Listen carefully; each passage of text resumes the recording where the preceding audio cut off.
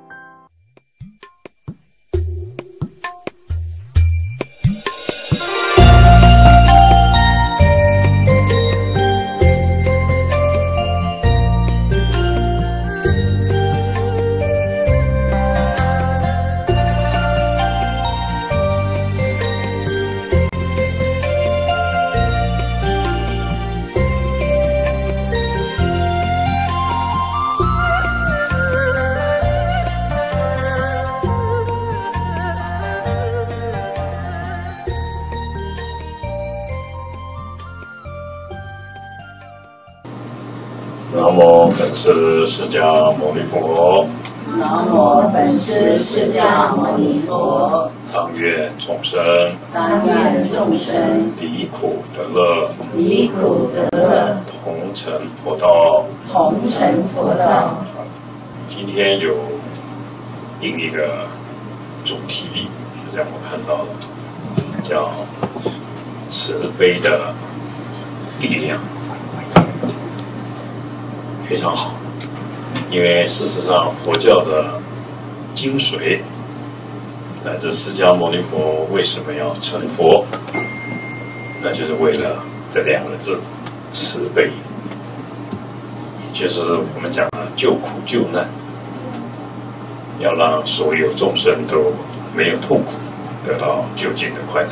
所以，特别我们大乘佛教有有各种的经典理论，呃，包括修行的仪轨，各种的法门。那老实说，就我个人来说，什么法门都好。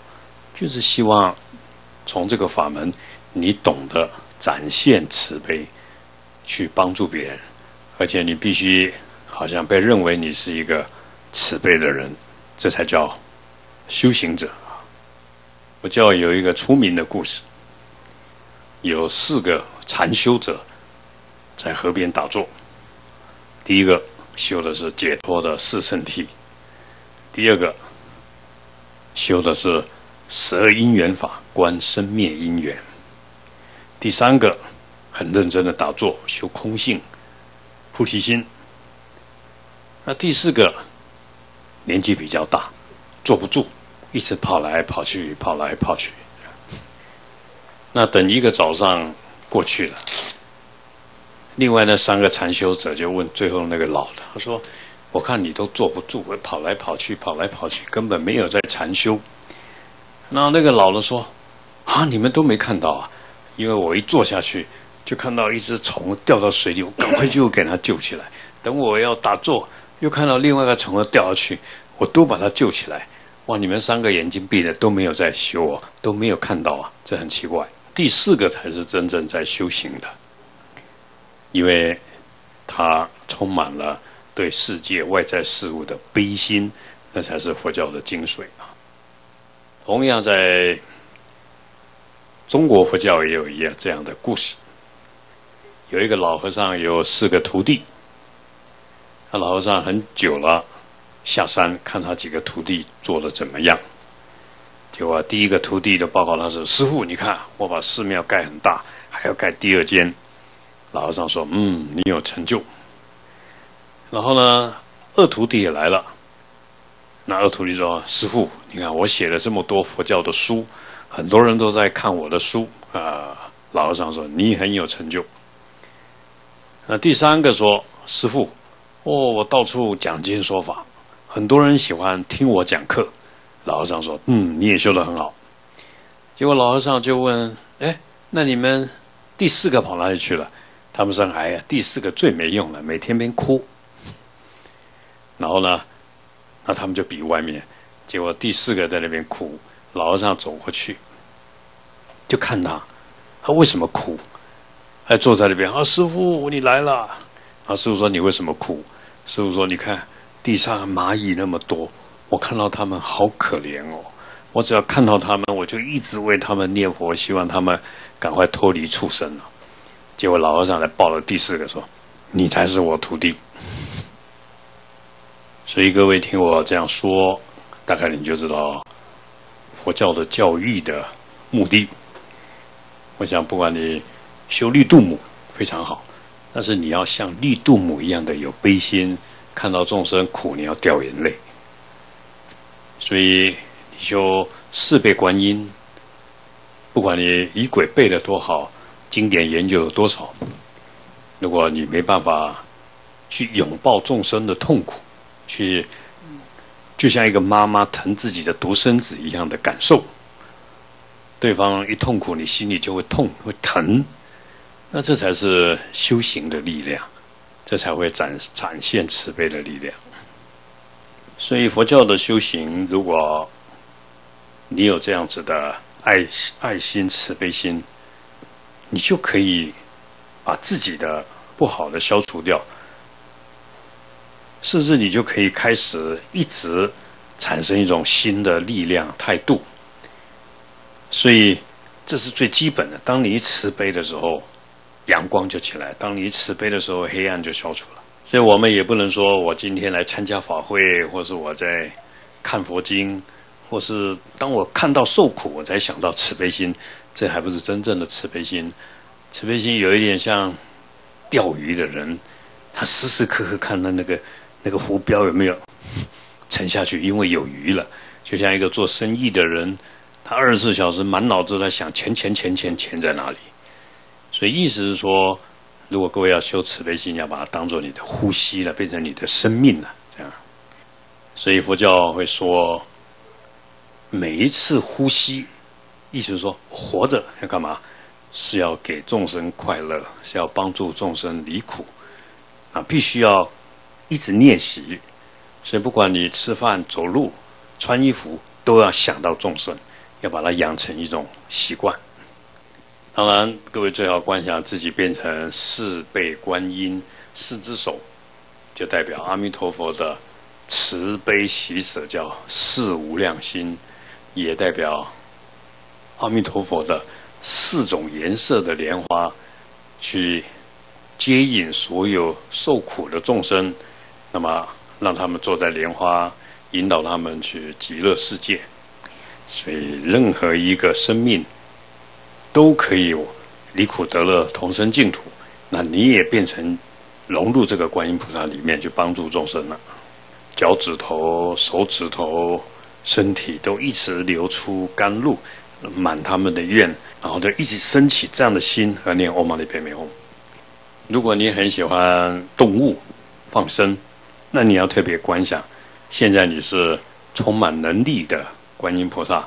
所有要被杀的牛，所有要被杀的猪、羊、鸡，你都可以马上把它救出来。然后呢，救出来以后啊，让他们呢也能都能够去极乐世界。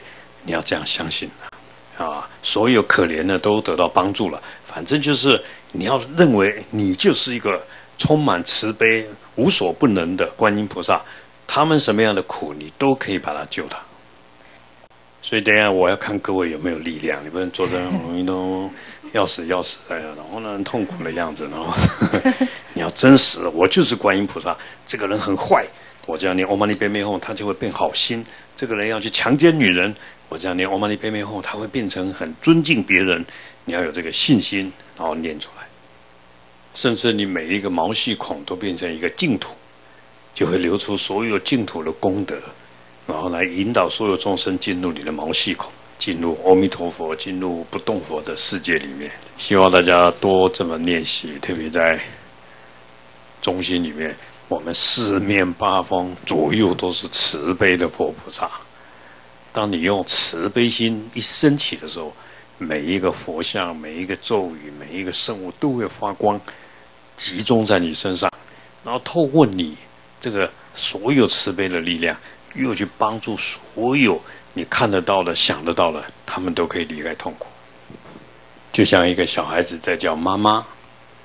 当你一升起慈悲心，想帮助众生，所有的佛菩萨祖师心都会痛，他会马上感动，然后就把所有的慈悲心的力量就灌在你的心里面，你的生命，然后你又开始去帮助所有的众生。那所有众生也变成离苦得乐、快乐的菩萨，所以百千万亿的慈悲心又来加持你，然后你又去帮助众生，而达到所有世界。我们大乘说心佛众生三无差别的这种圆满的状态。简单的说，就像这个灯，我们只负责慈悲心，它就打开了，那电力公司的力量就会进入你。然后呢，你只要保持慈悲心，这个光就永远在照着，这个电扇就永远在吹着，这个冷气就永远在吹着。这个就是大乘佛教的修行方法。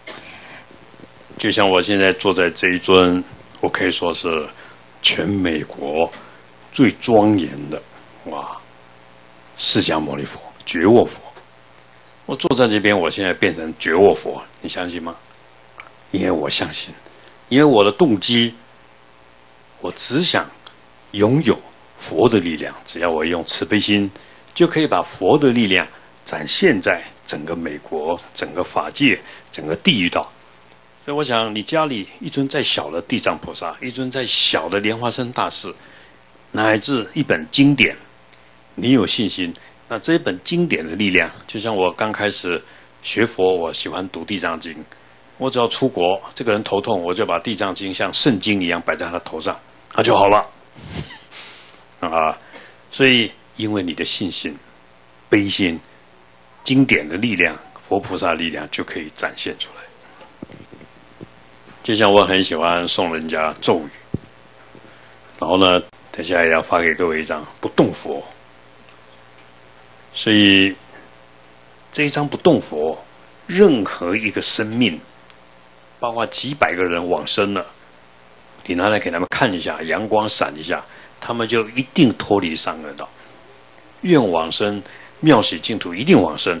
各位一定要对任何一个三宝的加持物有绝对的信心。那为什么要这绝对的信心？因为要帮助，因为要圆满慈悲，自然佛的力量就圆满的展现出来。但有一点很重要，很多人说我这样念就好了。当然，我认为佛的力量百分之一百，但是你自己也要尽力。比如说，报纸上又写有一部飞机又掉下去了，可能死了一百个人。那我呢？我会拿一百块美金，至少一百块美金，帮这些人做点灯、放生什么一个一个项目做两块。我有这种表，我尽我的力量布施来帮助你们。然后呢，我来为你们请佛菩萨加持你们，带你们去极乐世界。各位，你相信好了，大部分人都得到安慰，很多就往生净土。所以我们希望这个慈悲真实能够产生力量。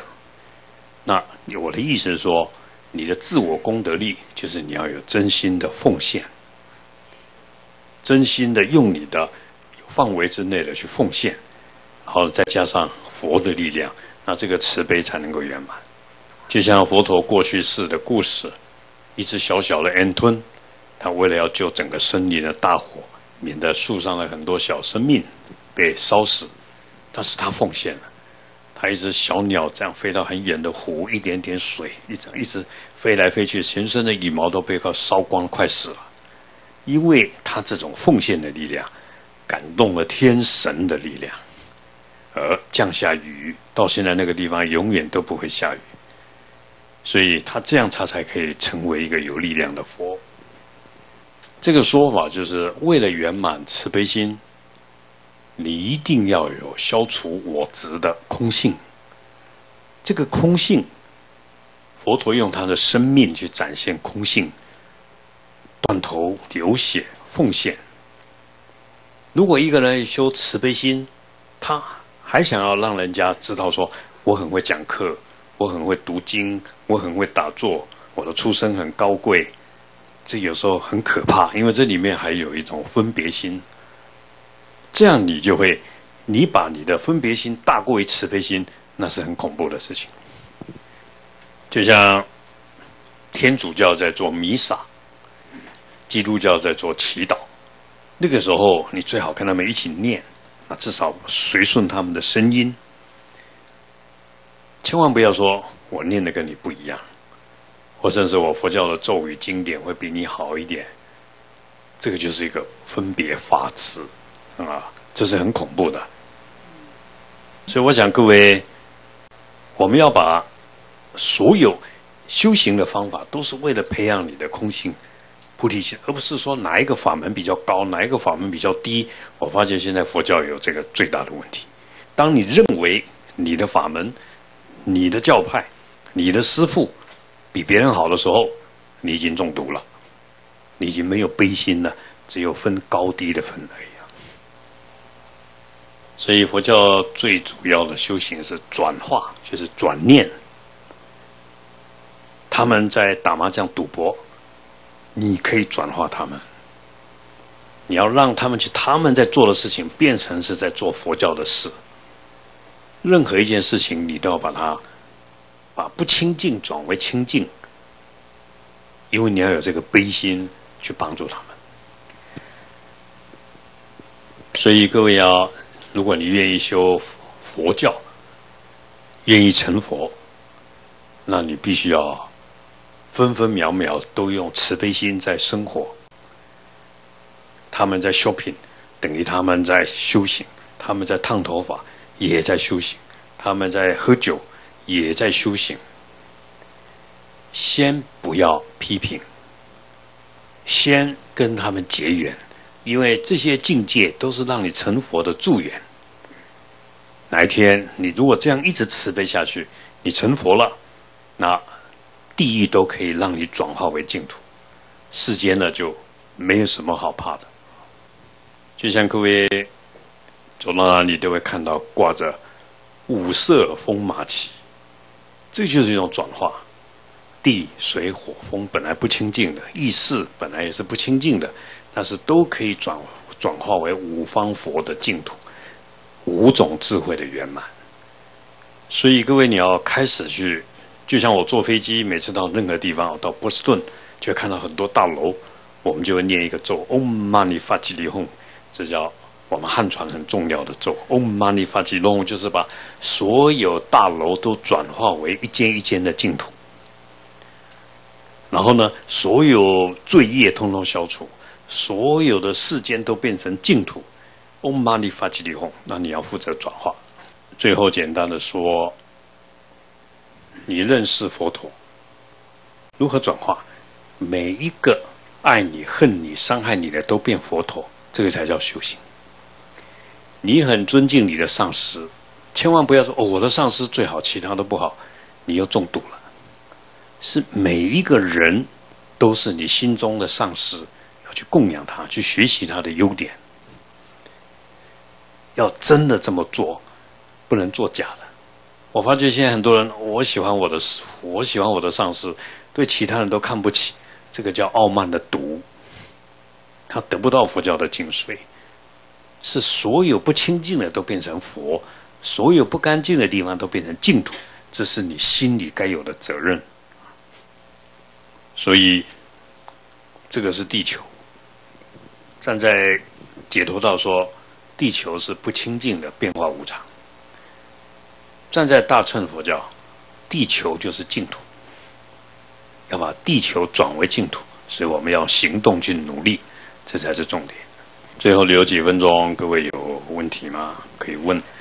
Thank you，啊，这位的海涛法师，我每天在 follow 你的那个 YouTube，在学呃，在做施食。我想请问一下，有的时候，因为你那里面讲说要八点以前，所以所以是台湾的八点还是这里的八点？四十部分时间。早上，早上是什么？没有。没有，事实是二十四小时都可以。他那边有写。没有。我可以。那是八关斋戒吧？不是事实，我可以秀给你看。那不是我写的。这边晚上，那边白天，那边白天，这边晚上，反正任何时间 都可以。都可以，因为那是我们的悲心，而不是他们的时间。只是说，透过那个时间，你比较容易记得这样而已。但是念佛、诵经、持咒，任何修行都不离开。都是平等的。Thank you。那法师，我我今第第这个姻缘，我第一次来参加的，我想问你，我最近我做帮很多人，呃，我有点感觉很疲倦。我今年已经有帮了三个庄礼，就是有人死亡了，啊，丧礼有人死亡。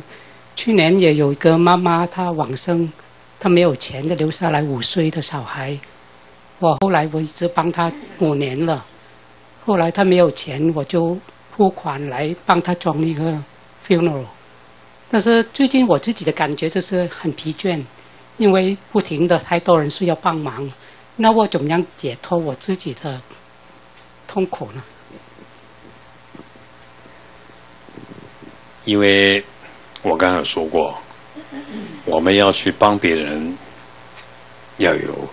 全然奉献的精神，你不能有一个我还在痛苦，所以我们必须透过舍掉自己的，包括生命，才可以消除这个我执。生命是我的，财产是我的，时间是我的，那个时候你才叫空性。很多人都认为我读了中观，修了大圆满、大手印就有空性，啪他一下他就没空性，叫他钱拿给我用，他就没空性了。所以。你要修空性，它必须有，就像你这个挣扎，你只要坚持下去，坚持帮，帮是我们的生命，然后痛苦就让它过去吧，还是会痛苦，痛苦到不会痛，叫正的法忍，正的终于什么叫空性？所以佛陀经常说，他用他的眼睛割他的皮骨，这些来证空性的。现代人是用看经典来证空性的，那差就差在这个地方。所以我认为，你帮三个还不够，你要帮三十个、三百个，然后这辈子帮不完没关系，帮三亿个都没关系。这个地球光人就有七十亿个，那你要你要告诉自己，我的愿不会退，一定要这样发愿。菩萨道虽然我们是凡夫，一只小蚂蚁。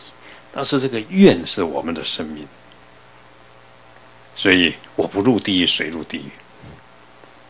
所以任何人要用这个愿来撑住自己的生命。但是你会发觉，当你完全舍掉的时候，你就拥有一切。所以继续努力。好，感恩谢谢。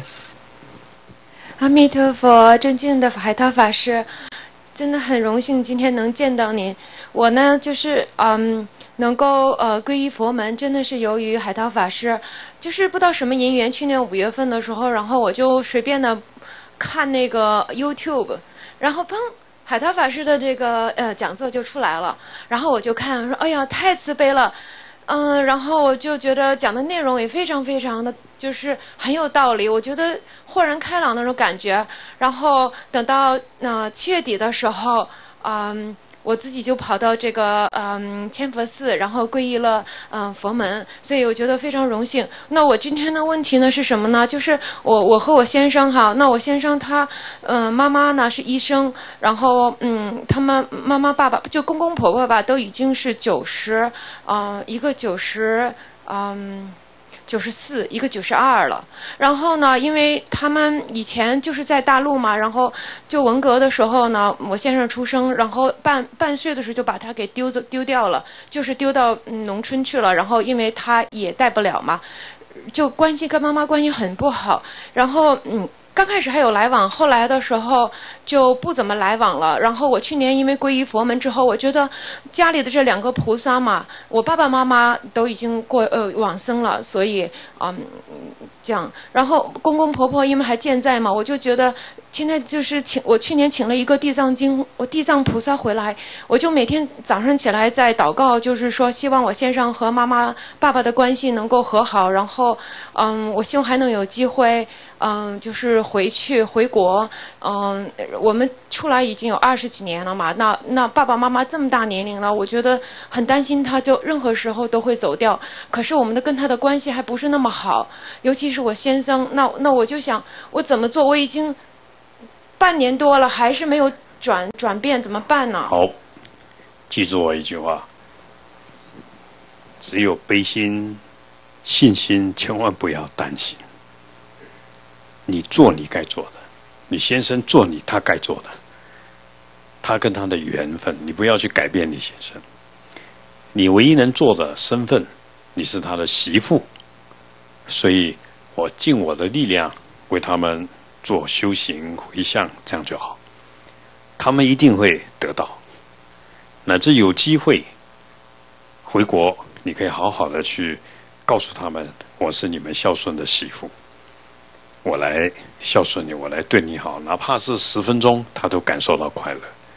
但是心里还是接受你先生跟他们的因果。当然，你所做的功德也可以回向你先生，愿他哪一天慢慢会对他父母有好感，这样而已啊。所以也不是光回向他，当愿天下所有子女都孝顺父母。但是你把你那一份。做好就好了，啊！但是不要刚刚讲了，我担心他怎么样，他为什么不这样？这个都是伤害佛性的。所以，任何不相信、担心、放不下、感觉到很烦，这些情绪要赶快把它过去，过去，赶快一秒钟就让它过去。只有一个相信、悲心，我是为了成佛而存在，而且耐得起孤独，并不要别人认同你的想法。当然。你的想法，这个肯定是正确的，你就不要管别人了。所以也不要活在别人的眼睛里面。所以我想在这一点，自己佛法，我们现在没有办法改变对方，但是佛的力量永远在帮助对方。所以哪一天你成佛了，那这些因缘都可以具足了。那现在是透过别人的不认同也好，别人的漠不关心也好，增加你的信心。所以我刚刚讲了，要耐得起孤独。所以你要别别人来认可你，那你还有一个执着，希望就像我唱歌，希望有人听，那不行。我穿衣服，希望有人看，那这样你还活在一种虚伪的。所以你要把这个我都给打破，这样就好了。所以我想，如果你这样去做，你的先生一定被你感动。时间的问题，但是不能说。我对你那么好，你什么时候开始对我好，你就继续对他下去就好了。你不能有所回馈，这样就可以把你这个我要我不要消除掉，这个比较重要。因为如果你要圆满慈悲，有有这个我执，没有空性，你就没办法圆满慈悲。所以空性是保护慈悲的，呃，空性不是佛教的目的，这点要记住，慈悲才是佛教的目的。但是你要圆满慈悲，没有空性是没有办法的。所以，那自己起分别心怎么办？怎么办？那就是又离开了这个空性。所以藏传佛教讲三昧业界，什么叫三昧业界？离开空性就犯戒。但是慈悲是基本的。但是很多人在研究的时候，为了就忘了慈悲心，每天在研究空性，研究三昧业界，但是他基本的又了，又又又伤害到了，所以这一点一定要弄得很清楚。所以你就继续孝顺下去，默默的做，这样就好了。好，谢谢你。呃，不是不好意思，我的中文非常很不好。呃，请问可以呃再一次说呃呃这个呃 mantra？呃，譬如说他告诉我，嗯呃飞机说呃 mantra，可以呃再一次说，and and and 也有给我们的意思。好，谢谢。这个叫大广博楼阁灭罪咒，也就是说你要观想一个很大的房子像净土。但是这个咒一念出来，那所有的房子都变成净土的房子，里面住的都是五方佛，所以所有房子里面的众生都变成五方佛，因为他们的罪业统统消除掉，叫 Om Mani Fajili Hum，Om Mani Fajili Hum，Om Mani Fajili Hum，而且念这个咒，眼睛要看。你眼睛看到的人事物，通通消罪业。这也是汉传佛教的三大超度咒，就是你要超度，一定要念这个大宝广博楼阁灭罪咒。那也是也是藏传佛教的过级解脱咒，从底下过了，有时候有贴在，从底下过了，他们就可以超度。所以他会贴在房子上。那汉人是用眼睛这样。所以，Om Mani f a j i l i Om Mani，眼睛一打开就 Om Mani f a j i l i Om。像你住在楼上，在街上看到很多人，就 Om Mani f a j i l i Om，他们的所有的罪业不清净都消除掉。尊敬的法涛呃海涛法师您好，我有两个问题想请教您。一个问题就是，就是我们在这边经常放生，但是自己有家人不相信佛，就是追求吃那些。海鲜、刺身、牛肉这些，然后除了能够帮助家人回向之外，还有什么可以帮他做的吗？首先，你要修的是冤亲平等心，就是说，别人吃肉，你用平静的心；你家人吃肉，你也要用平静的心，这样才不会伤害你所修行的力量。然后，你越平静，你的祈愿的力量越强。你希望你家里的人也能够将来认同你吃素或放生，搞不好他也会吃素。你越平静，就像镜子越干净，反射光越强。你你为他们所做的任何一个功德回向给他们，他们都会得到。但是你用有一点烦恼、不接受痛苦的心态来为他们念，那就没用了，力量很薄弱，就像这个已经模糊掉了。所以，冤亲平等是对我们的家人最爱的人的这些特殊的我们不能接受的毛病，这就是我们要修的。用一个空性平等，所谓空性就像虚空一样，接受一切叫空性，就不离开空性，但是又对他慈悲。不然的话，你要他好，你才要做，你就会退转。对为什么说空性不分别是保持慈悲，是保护慈悲的方法？所以最后你会感谢你家人的不合作，因为你才会比别人精进。就像我父亲跟我说，我我们皇家从泉州开元寺到现在二十几代就没有人吃素，更何况出家，他都去调查过了，这样啊。所以我我爸爸是这么说，那我是倒着来想，又因为如此，所以我要做啊。但是我没有改，我只是偶尔劝劝我爸爸说吃素很好。当他生病的时候，后来他吃素也不是因为我，是因为他去公园运动。我在台湾很出名，他的一个朋友说：“哎，哇，海涛法师是你儿子？”他说：“对呀，那你还吃肉啊？多没面子啊！” 我就这样，那个佛菩萨的事情回来把我打电话叫回去，干嘛？我要吃素了，你帮我念一念吧，皈依佛，皈依。然后他要吃素了，把我妈叫过来。既然我要吃素，你要煮给我吃，你也要吃素，我就这样解决了。但是我没有放弃。十二年，刚好从我学佛到他们吃素，我当然希望他们吃素啊。十二年，但我心里一直很平静。全天下都不错，都是这样。我修行是为我爸爸妈妈，就是因为他们不修行，所以我们来修行。既然我为我爸爸妈妈修行，我也要为众生修行。众生不做了，都我来做，这样可以。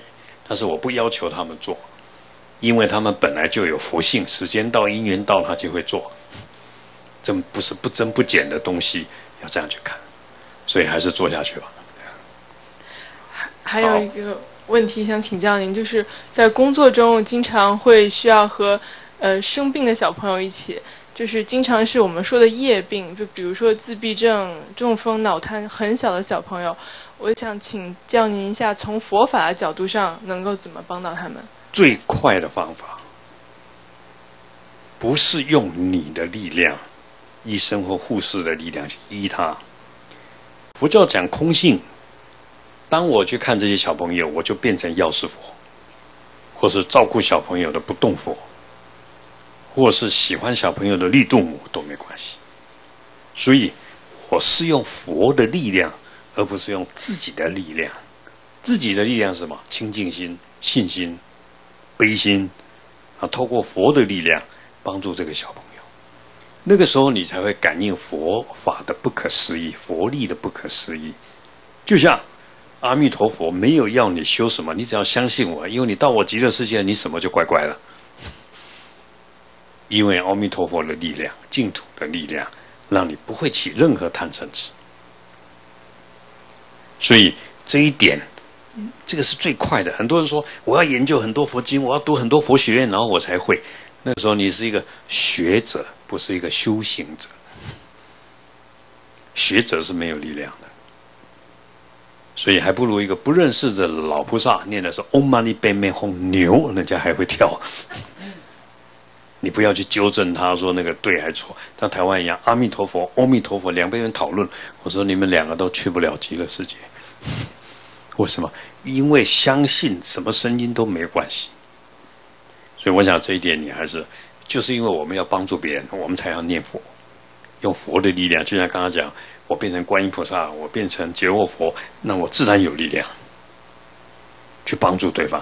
就像说，假设这样好了，今天有个小朋友病得很厉害，我来拜佛陀，观想佛的力量不可思议，佛法无边，小朋友一定会好。你要有这个信心去拜拜，就像地藏王菩萨为他妈妈来拜佛供养，他就可以下地狱救他的妈妈。这个方法没有修行久或不久，这个信根是最难的，最容易也是最难，因为怀疑。所以我想，你有这个机会接触小孩，那那你就没有问题。我就是小孩子的救星，因为不是你，因为是佛的力量透过我，观音菩萨的力量透过我去帮助他们。当你在帮助他们的时候，你自己也得到帮助。你的心也得到帮助，你会越做越有信心，所以拜托你了，各位所有小朋友。谢谢好。也是跟工作有关系的问题，就是嗯嗯，学医的，然后呢动手术，嗯做动物试验，这属于杀生吗？然后在做手术的时候，比如说冤亲债主藏在牙里面动手术，也是属于杀生吗？完了。你要相信佛法。就算你是杀猪了就好了，但是我的动机，动机决定一切。我的动机，我手上拿这个武器，刀子，是一个加持物，是个天铁，它就超度，这样就好了。啊，重点，因为这样你才可以超越你自己。那有没有造业？还是有业？但是你愿意承受？但是你不能用。一个一个不安心去做，那更伤害，你还超度不了那个动物。如果你用的一个很清净的心，我当然能够不做最好，但是我现在不得不做，但是我用佛的力量超度他。啊，就像有一部电影，他先生杀猪，他负责抓猪给他先生杀，但是这个太太觉得这是他的命，他接受，做人家的太太，我能说什么？但是呢？他天天忏悔，天天念佛，结果他死了。很多人说那个人那个每天抓猪给他先生杀，他可能会下地狱。最后他就极乐世界了，因为他的动机是帮着猪，但是他在一一一缘起的因果上，他是人家杀猪的太太，这样他必须接受这个果报。所以我想，这个念头自己要这个叫心清净比较重要。所以我想各位，你做什么行业都没关系，但是我。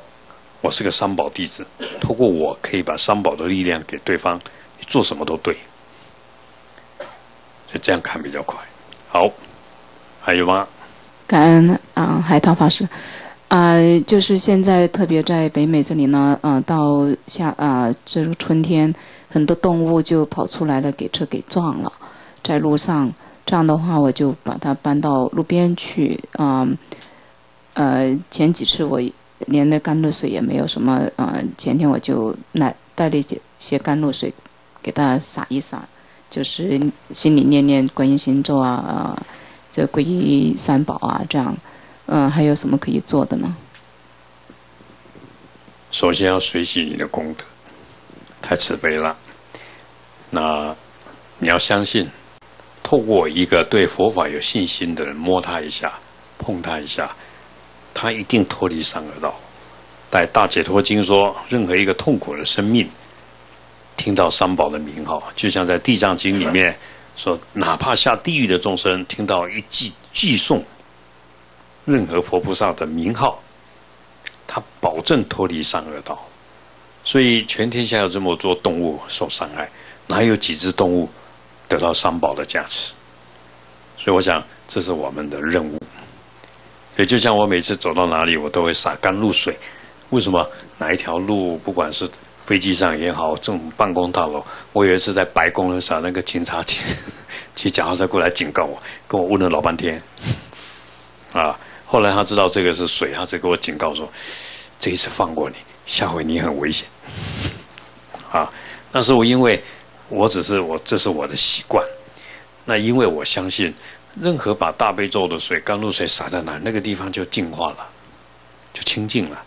这是我的信心，也透过这个信心，所以我活得很愉快。任何一步我坐的飞机都不会掉下去，因为我相信，就算掉下去，我会全部带他们去极乐世界，这也是我的任务。所以对我来讲，你要你皈依了三宝，最难就是相信。从皈依到成佛，就不离开三宝。从到整个极乐世界就在念佛、念法、念僧而已。你念心经可以，念大悲咒可以，你做什么都可以。哦，所以当然了，佛教里面有很多啊，比如说尸体，你帮他念不动佛心咒，洒水、洒沙、洒米，乃至碰触一下他就超度。乃至大水球咒，嗡巴拉巴拉，你们这个手上，像每次他们写牌位，我写完我就用这个盖章。他问我师傅，你这个干嘛？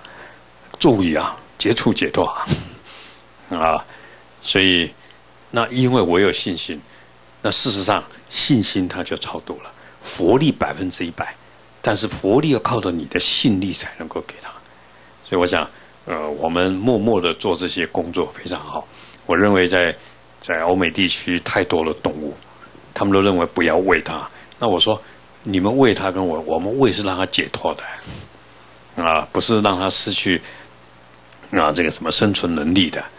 啊，所以你看到一个大河、大湖泊，我跟他念一遍大悲咒，念一下水的咒语，嗡哇西波罗摩尼梭哈，又念药师咒，整个湖水都变成药师咒水，你一点都不能怀疑。所以各位，这一点非常非常的重要，这是我今天跟各位讲的。相信，那你的悲心就会很有力量，你只负责慈悲就好了。就像妈妈爱小孩，那是天然的事情，我们只负责一种天然的。爱，然后再加上你跟他念佛，我们那边灭哄，所以不要急的。我发现现在有一个痛苦，每个人都急的，呃，每一本我都读完，每一个仪轨我都要灌顶，灌到满头包，然后从来也不用，啊，不知道用哪一个，这个很可惜。所以我觉得中国的祖师有点好处，一句阿弥陀佛撑到底，啊，但是我认为我也不会偏激，因为我认为别人讲的好的，我都要学。啊，包括其他宗教讲了一些特殊的法门，我都要学，因为我是负责慈悲的。啊，慈悲把它这个好的转出去，这样就好了。好，再问两个问题就要下课了。那就是家里人嗯还没有皈依佛，也没有吃素的话，在给他们做呃肉食的时候，也就念呃观音心咒，或者是文殊菩萨有一个咒，嗡阿比拉吽嘎扎拉芒说哈，这个叫吹落往生净土咒。我特别要讲这个咒，是因为传承给我这个咒的上师，嗯，那时候在印度，他也是干嘛？也是我们自贡嘎举的一个大活佛。我为什么要讲这个？是因为他要传承这个咒给我的时候，出现了那时候我们不知道占明师还是在最庄严的彩虹，五条清清楚楚，浓的不得了，然后到前面的草地，因为他说他要传这个咒给我。那个时候就出现了这个彩虹，所以那我来我这样讲的意思说要有信心。嗡阿比拉吽嘎扎拉曼说哈，所有超市里面所有他们在吃的肉，保证都往生净土。有有这个信心啊，所以虽然我们吃素，我们还是会念这个咒，因为希望所有被吃掉的肉得到升天乃至去净土。跟我念是嗡阿比拉吽。嘎扎拉曼说哈啊，这是文殊八字咒，在汉传的经典也有了。呃，还有就是那个甘露水的话，可以给小 baby 喝吗？就是把它呃泡了水以后，呃放到奶啊或者是饮料里边啊，可以吗？我想没有分甘露水也好，大悲咒也好，药师咒也好。只要你有信心、有悲心，什么都不会念，念个嗡都可以。啊，因为嗡就是把不清净转为清净，叫嗡。就像我们汉人念南无，南无的意思，你再怎么伤害我，你都是阿弥陀佛，叫南无阿弥陀佛。转化的意思。所以，就算很多人都不会念，我都会教他们念嗡阿吽。为什么叫三字总持？总持一切，所有佛的身口意都透过这三个字。所以我们供花、供果都要念嗡阿吽，只是在藏传把嗡阿吽放在后面，中间奉半扎阿罗给，就是代表灯的意思，或是花，或是什么，那就是任何一个都不离开诸佛菩萨身口意的加持，然后让它转化一切。我想我们。呃，你问我这些，你都知道，但是你信心不够，那你就相信就好了。啊，知道了。啊，所以你煮过的饭，你喝过的水，你走过的路，就像很多人说啊，师傅，我房子卖不出去，我就会说，在哪里啊？我们去看看。因为我们去了，他一定卖得出去。然后呢，师傅，干脆你这边睡一晚，那你福报更大。啊，所以我想，就像很多居士。买新车来，师傅坐一下啊！这下你福报大了，不是我有力量，而是因为我们相信三宝，那三宝的力量就会加持这个房子、这个车子、这个病人、这个往生者，一定会得到离苦。好，谢谢谢谢，我们就要回向了啊！来，愿以此功德普及于一切，我等与众生。皆得三宝加持，相信三宝，发起慈悲，念佛度众生。好，谢谢大家，阿弥陀佛。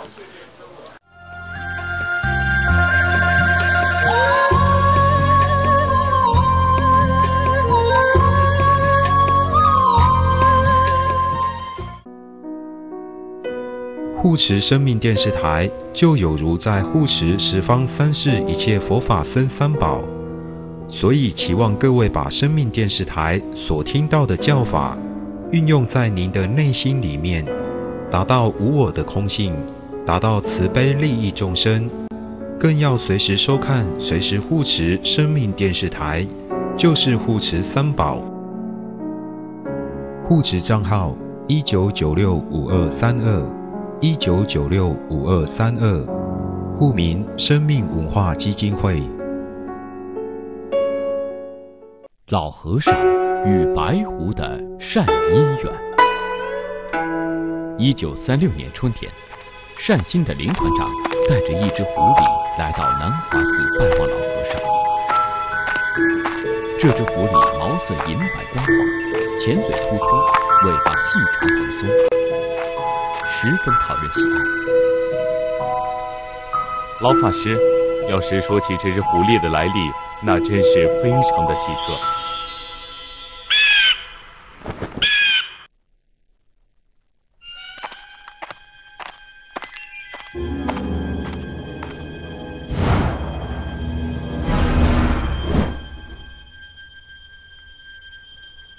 哈哈，既然抓到了一只狐狸！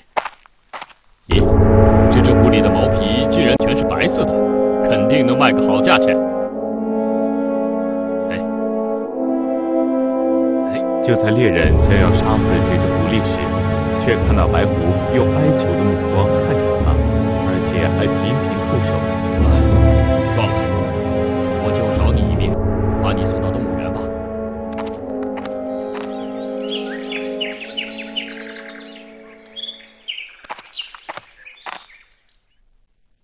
后来，这位猎人因事被捕。啊！你们抓错人了，我根本没有做过那件事情。这话你留到警局里面再跟我们警长说吧。快走，我们只是奉命来逮捕你的，有什么事去了警察局再说吧。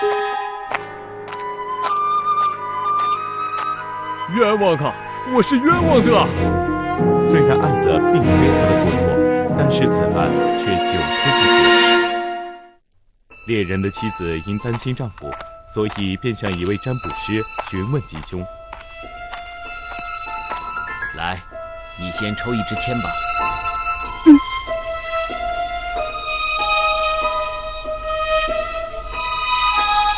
你丈夫的这场官司是因关白狐而遭致的果报。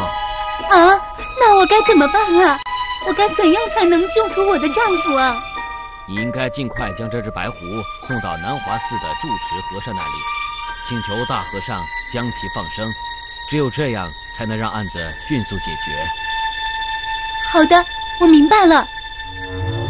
于是，这位猎人的妻子便从动物园赎回了白狐，并托我将白狐送到这里。既然是这样，那我就收下这只白狐。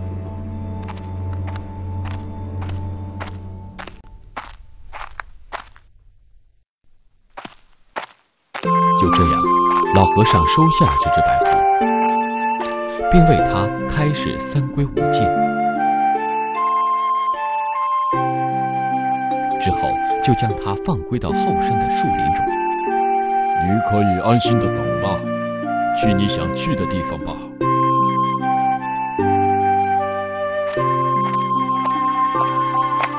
虽然老和尚已经将白虎放生，但这只白虎。还是会经常回到寺中觅食。尤其让人感到奇怪的是，自从老和尚为他传授三归五戒后，白狐竟不再吃肉，仅吃水果为生。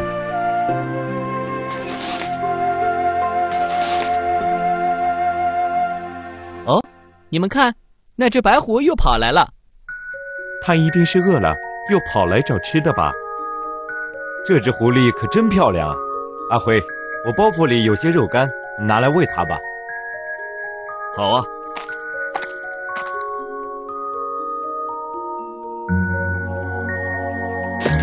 狐狸，这肉干很好吃。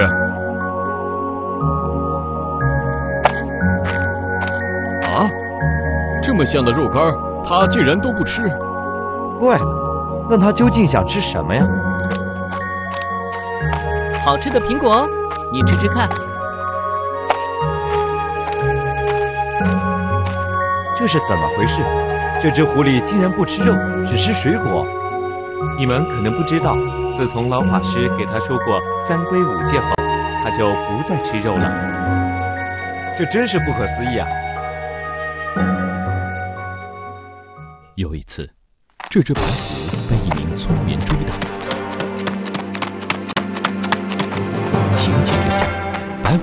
就像猴子一样，快速地爬上一棵大树，面向南华寺不停地哀叫：“可恶，竟然爬到树上了！我就不信你不下来！”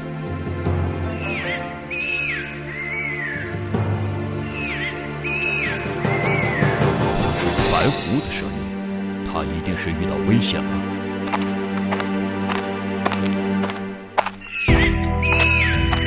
哎呀，老法师，您怎么来了？这只白狐与我非常有缘，希望你能放它一条生路。既然老法师您都这么说了，那我就不抓它了。你慢慢下来吧。从那以后，老和尚因担心它再次被人猎捕，于是便把它带回寺里，不再让白狐独自待在树林。这只有灵性的白狐一直陪伴在老和尚身边。当老和尚坐禅时，白虎就趴在他的禅坐旁边。如果老和尚坐禅时间过长，白虎就会不时地拉拉老和尚的胡须嬉戏，示意他要休息，不可以胡闹了。后来，这只白虎不幸被车压伤，痛苦地拖着受伤的身体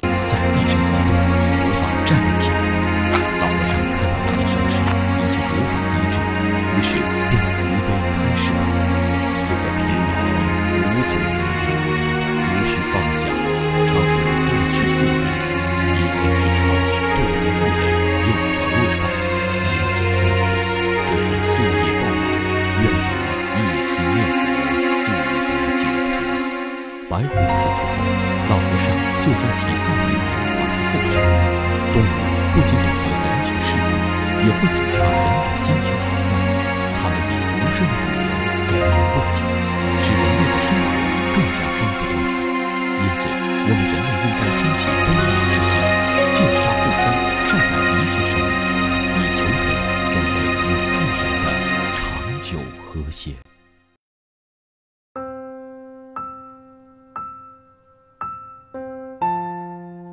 十功德殊胜行，无边胜福皆回向，普愿沉溺诸众生，速往无量光佛刹，十方三世一切佛，一切菩萨摩诃萨，摩诃般若波罗蜜。